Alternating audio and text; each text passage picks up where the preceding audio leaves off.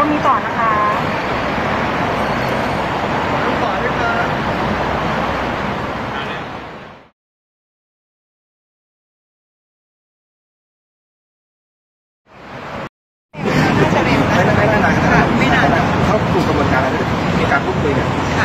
ความจริงจะได้ปรากฏว่าเอ้ยยิมเราเนี่ยยิมของคุณตาเนี่ยไม่ได้มีปัญหาไม่ได้มีความขาดของลำคอ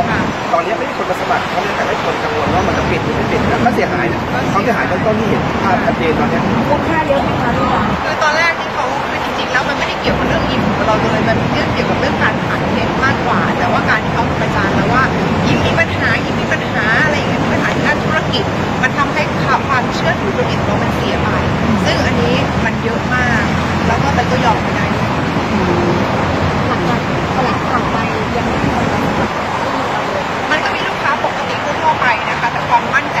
我讲了一百多。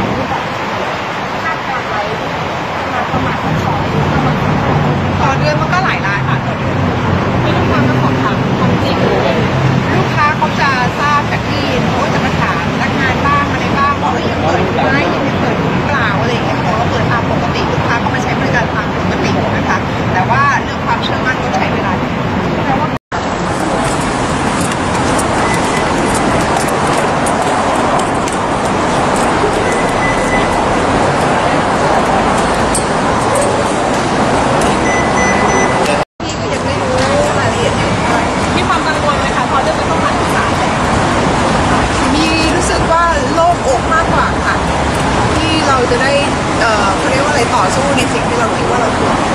วันนี้คือฟ้องหมิ่นประมาทเดี๋ยววันนี้จะฟ้องเป็นคดี